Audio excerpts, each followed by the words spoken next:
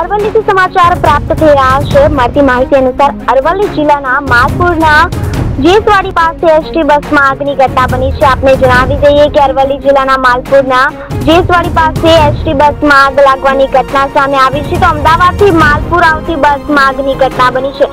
તો અંગે વધુ માહિતી આપવા માટે અમારા સંવાદદાતા મારી સાથે જોડાઈ ચૂક્યા છે. નમન પંડ્યા, જી નમન જણાવશો, એસટી બસમાં આગની ઘટના બની છે તો શું છે સમગ્ર માહિતી? જે આપણે જણાવી દઉં કે બપોરે ત્રણ વાગ્યાના અરસામાં અમદાવાદથી માલપુર જતી જે બસ છે માલપુરની પાસે જેસવાડી ગામ છે.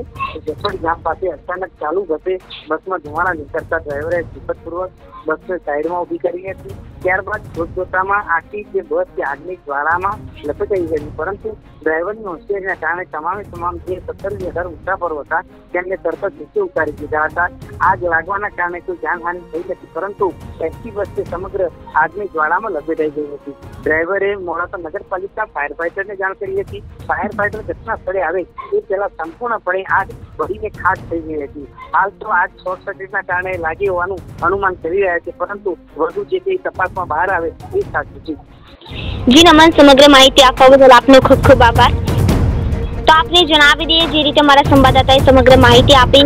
અમદાવાદથી માલપુર જઈ રહેતી હતી ત્યારે આ બસમાં આગ લાગવાની ઘટના સામે આવી છે તો બસમાં આગ લાગતા એસટી બસ બળીને ખાક થઈ ગઈ છે. બસમાં સવાર તમામ મુસાફરોનો આબાદ બચાવ થયો છે. મોડાસા પાલિકાનું ફાયર ફાઈટર ઘટના સ્થળે પહોંચ્યું હતું. બસમાં સવાર તમામ મુસાફરોનો આબાદ બચાવ થયો છે.